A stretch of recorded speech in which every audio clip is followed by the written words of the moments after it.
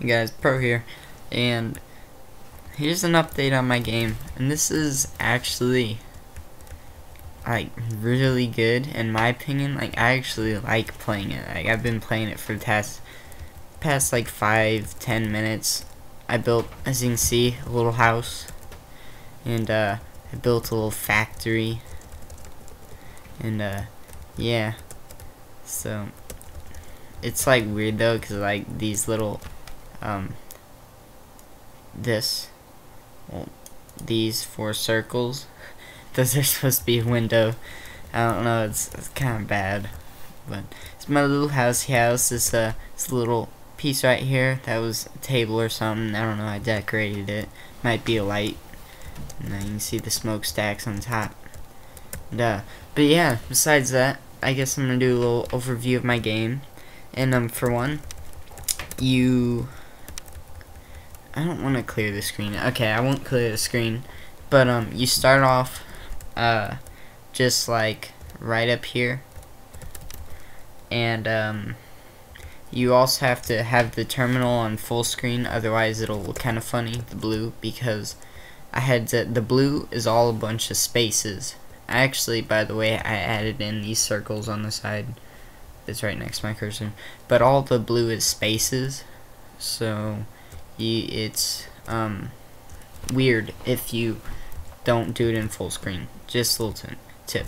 And um, the way it works is right now, I there's only creative mode right now, which I mean is that I might add like a survival mode in a way where you can um, turn it into where you can't place some break blocks and uh, or circles, I guess. But the way it works is right now you press circle to place a block or thing. You can place a bunch of them and go up and it places on your cursor and then your cursor moves to the right. So make a little box here. And if you um, uh, like get stuck in this, there's two ways to get out. You can either delete a block by pressing D, which it's really buggy right now, the delete blocks. See, I, I got it to delete you press D and it should delete it. It's it's supposed to delete the one right above you, but it doesn't always work as you can see. It's I guess it's just the way C++ works or something, the timing. It'll send it on a different spot, but whatever. The other way you can do it, which is I usually use if uh, I get stuck in a block, it's a glitch. I'll show you what happens when you get in the glitch in a second. But you can press R to reset and uh, I'm just gonna delete this real quick. Try and delete the whole thing. Delete. Delete. Delete. Just kind of random. Uh, oh, there we go. Sometimes it deletes it from the side. and who knows. There we go. Alright. So, uh, the glitch when you get stuck in a block, I'll reenact it right here.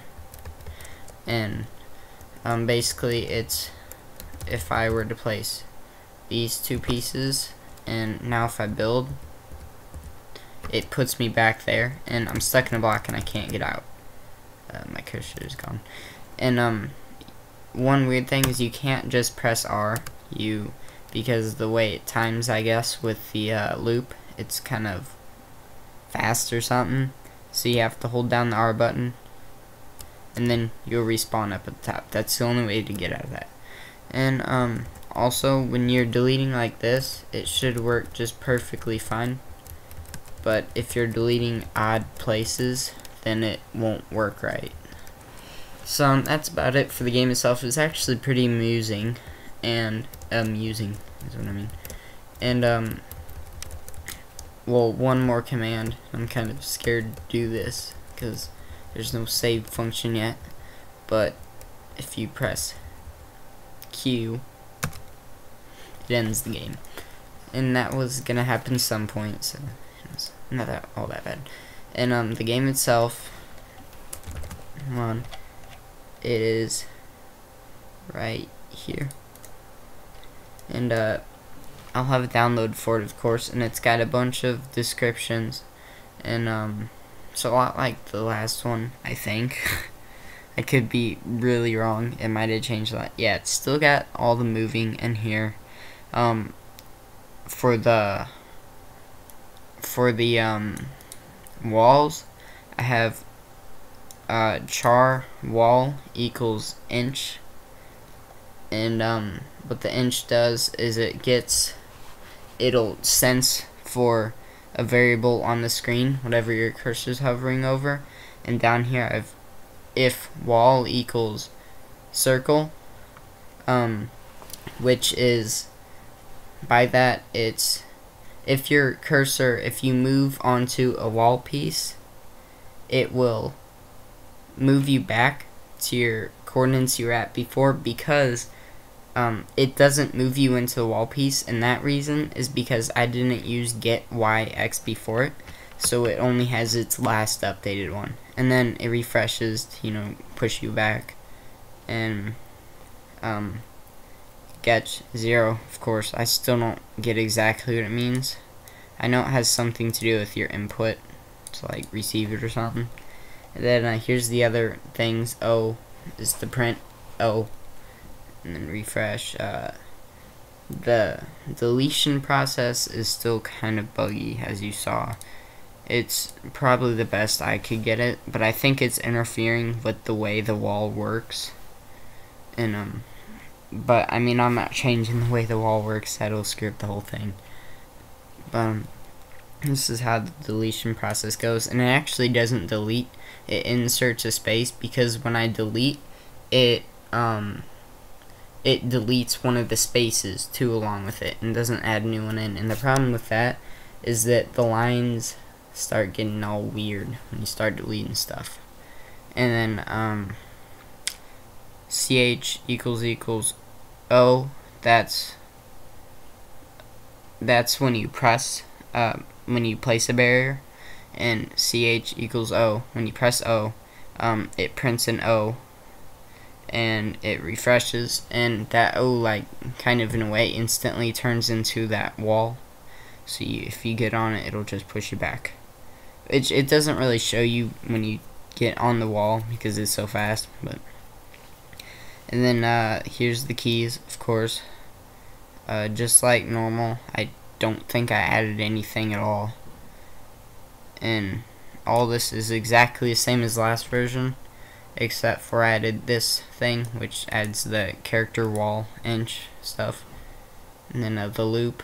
Then the background here's what I meant by the big blue spot. I had to have all the spaces so it's a bunch of spaces and then slash ends to go down. And then uh, attron this is of course the colors again. The color pair this is the color pair and it's I changed it to red and cyan. Cyan is what the uh, spaces are slash background, and the red is what the um, like circles are, and your cursor. And then these are just some things, of course, like last time, keypad, letting us use the well the up and down arrows and left and right uh, no delay. Oh, what's it doing? Oh, I don't want to move that. That was weird. Never had that hint before. The no delays, uh, I can't remember exactly what it does, but it, it does something important. No echo is to keep it from you be able to just type in stuff. Start underscore underscore color is uh says we can have color. Initiating screen, um, integer main of course. Um, then his little instructions up here for anybody who wants to play it. I actually do recommend playing it. I really do like this game, and it's actually fun.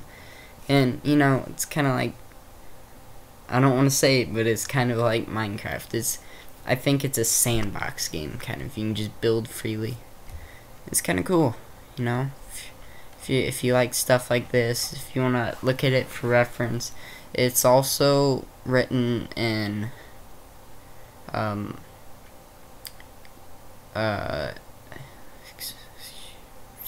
ncurses, so or just curses. It's technically the package files are that you have to have are called ncurses.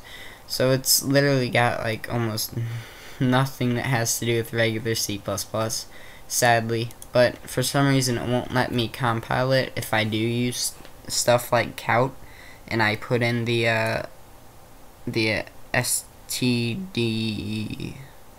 no it was um, iOS stream or IO stream. If I put in that include or header it doesn't work for some reason. So um, yeah I'll have this up for download. And anybody wants to check it out use it for reference. I maxed it out with all these notes. Um yeah I hope you like this video. I'm GoPro and peace.